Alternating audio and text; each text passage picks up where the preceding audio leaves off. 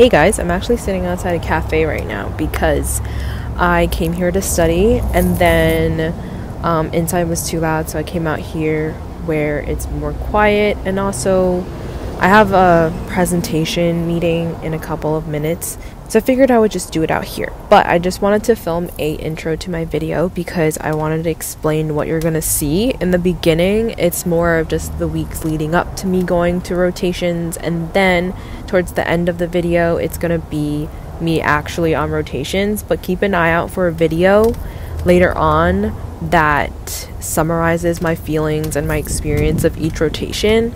I plan to do one of these for each place that I go to, but not entirely sure about that yet. So, I hope you enjoyed this video. If you do, give it a thumbs up and let's get into it.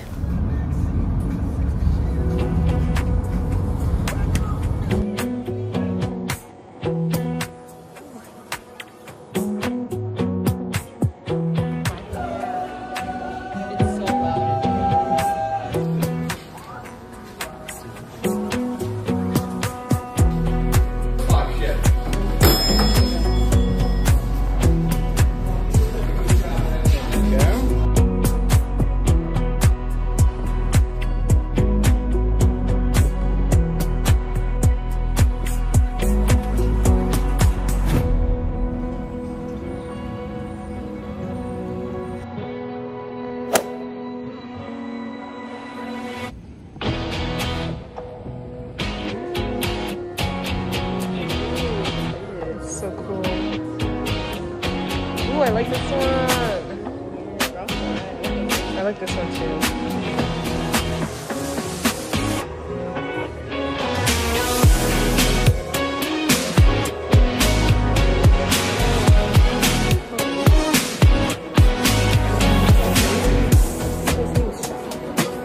So he wore this on his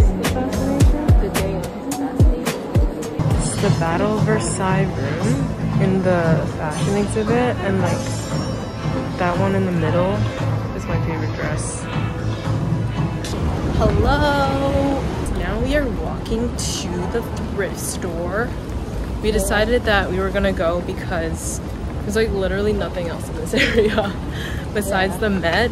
Um, we just come from the Met. Yeah. It's very cool. We just went for the fashion.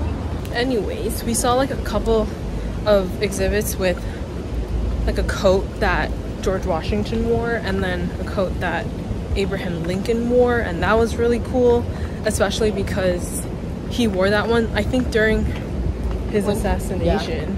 yeah. um, and you can actually see like the part that they took off because it had blood stains on it I think. Do you think we're gonna find anything at their store? I hope so. Someone told me it was a good one so I, I hope so. too. Um, but I don't know. Goodwill is, think it's like iffy. Yeah. It's like it's like hit or miss. I'm going there for work clothes, so let's see how much I can find. I'm going there for literally anything.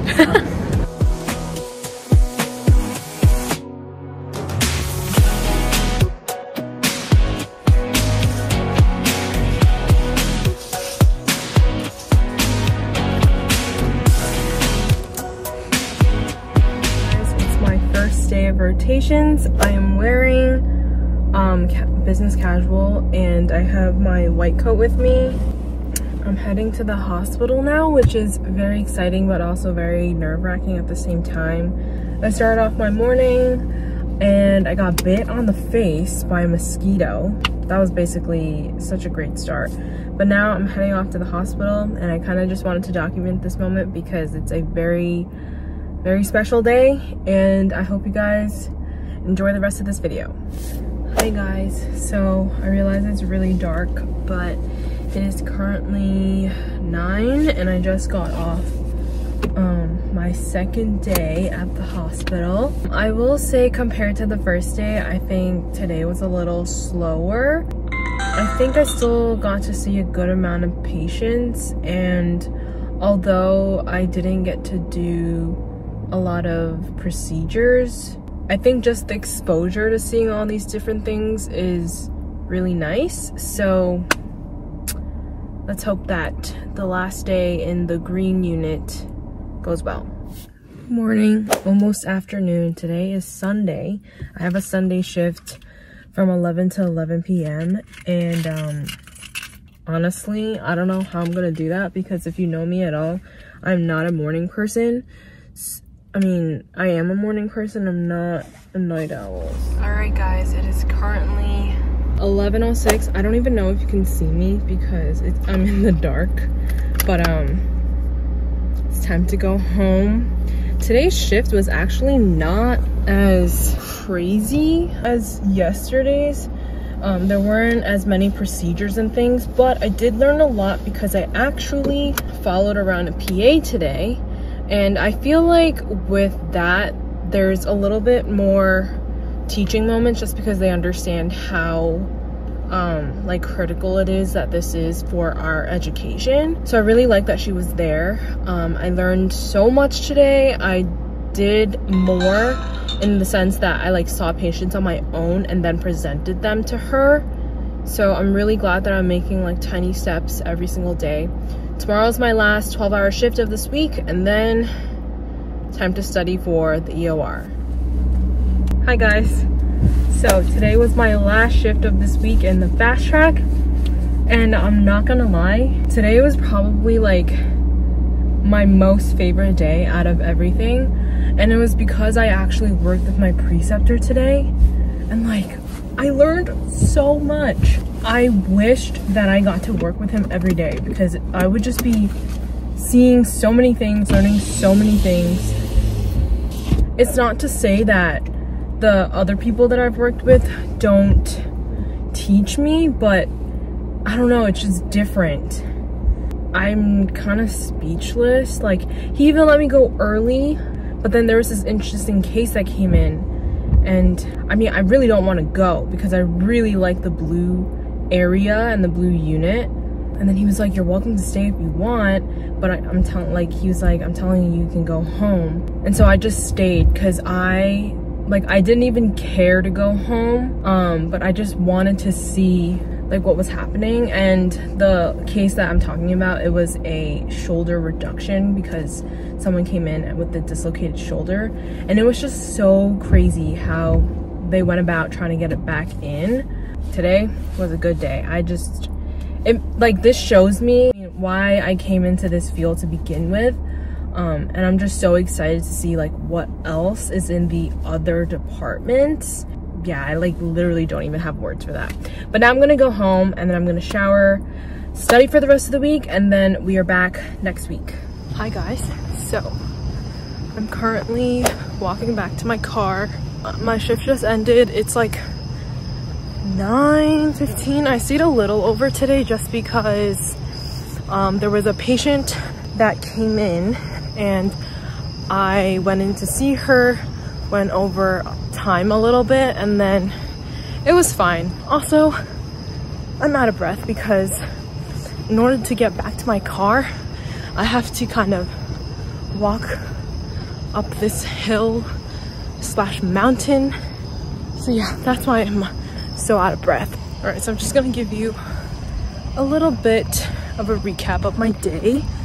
Um, today I was in a different section of the hospital and the attending and the PA that I worked with in the morning shift, they were actually really nice. I told them that it was my first rotation and they were super um, open about it and just gave me a bunch of advice on what I should be doing as a student. So um, he asked me like, what week is this? And I said my third week. And he said, okay, like, I think by now you should be a little bit more comfortable seeing patients on your own and presenting. So I kind of pushed myself to do that today. And I'm really glad I did because I did get a lot more comfortable seeing patients on my own. And also just reminding myself that I'm still a student. There's still so much for me to learn and grow. Hi everyone, I just got back from the cafe and I wanted to kind of show you guys what I keep in my book bag and what I bring to rotations, specifically for the one that I'm on right now, which like I said in the previous clips is emergency med. So I originally on my first day brought a like shoulder bag and then I quickly realized that it is way too heavy. It looks better, like more professional in a sense, but It's just more practical to actually bring a book bag with double straps. So I'm going to show you guys what I bring on a day-to-day -day basis and what I actually use. If you have any questions about anything, just leave it down below. The book bag that I bring, like I've had this book bag for so long. I think this was my sister's elementary school book bag, not gonna lie. It's from Nike and it's just like this black book bag. So in the first pocket, I've got some lotion. This is highly recommended just because you wash your hands and you hand sanitize your hands so much throughout the day that if you didn't moisturize, your hands would literally fall off. Just like all the skin would just fall off. So lotion is a must for me. Um, and then I have lip balm as well as hand sanitizer. And for some reason I have two. I don't know why.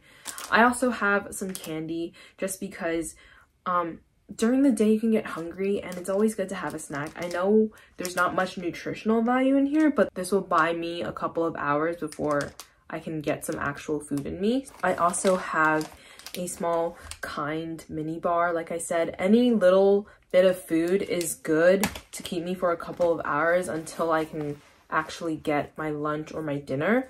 And then next I have a pair of gloves.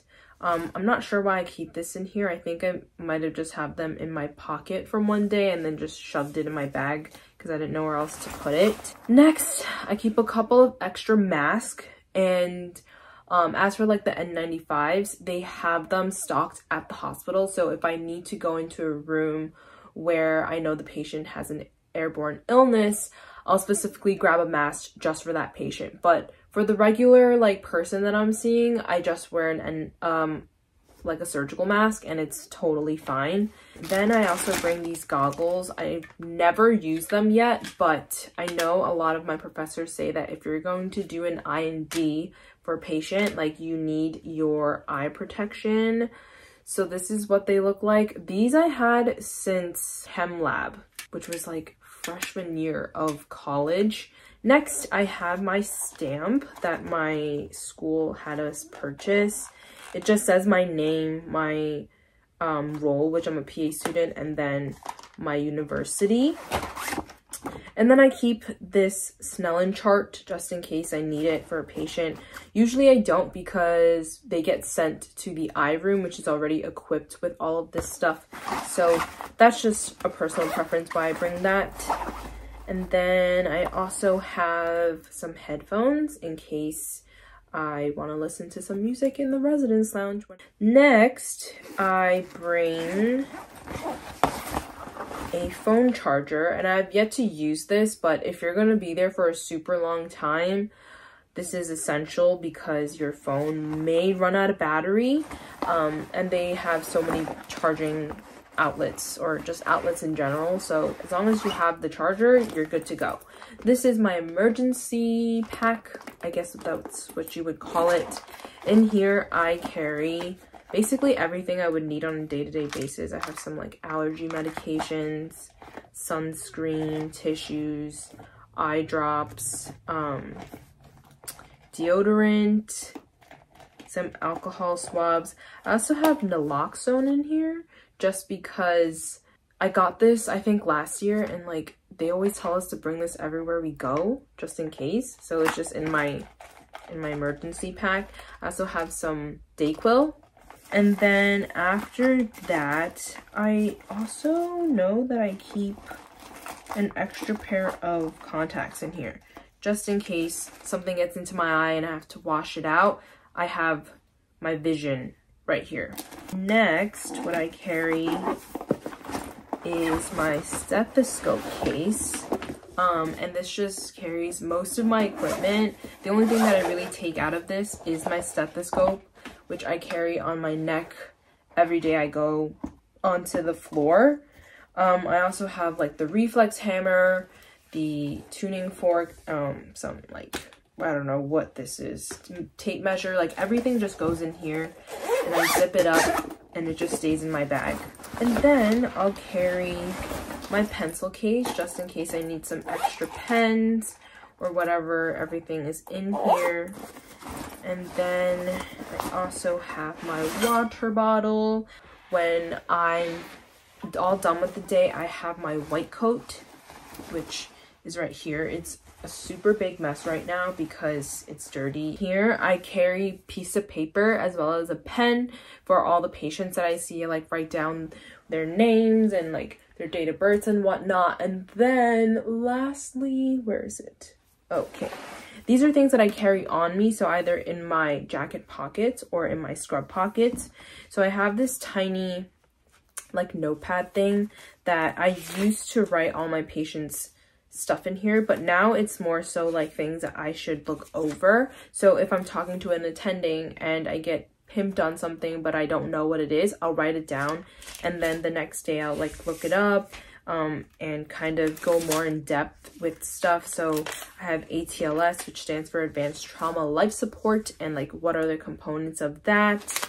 I also carry this Maxwell Quick Medical Reference, which is from the APA, when you start PA school and you join this um, organization, they'll send this to you for free. So this basically has everything you ever need for anything, literally um, has normal lab values, drug serum levels, what to include on your pre-op, op notes, post-op, procedure notes, APGAR scoring, like literally everything with your physical exam you can find in this. And then there's also another Snellen chart on the back. And then lastly, always have an extra pen because you never know when your pen may run out of ink. And then I have my ID. But yeah, that's everything I carry and I hope it was insightful for you in case you're going on rotation soon you don't know what to start out with. I think this is a pretty good base of what you would want to have.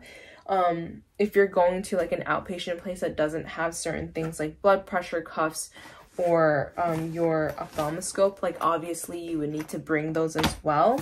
But at the hospital that I'm at, they have all of that. So yeah, that's basically everything I carry. Um, if you guys like this video, definitely give it a thumbs up. Let me know what you want to see. And yeah, hopefully I'll see you in my next video and I hope that it's going to go up sooner than later. I do have a lot more time off this semester because I'm not constantly in the classroom, but with that time off comes more studying on my own because I have my EORs and whatnot. I'll see you in the next video. Bye!